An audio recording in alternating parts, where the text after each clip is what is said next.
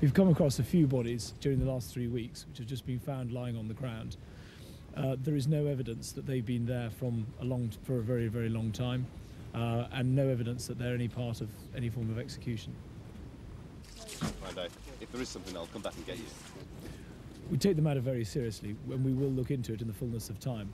But what is important is that we don't get distracted from our main emphasis at the moment, which is actually pulling the uh, in, pulling the troops back from the front line, engineering this zone of separation of four kilometres between the warring factions. That is going to be our point of main effort.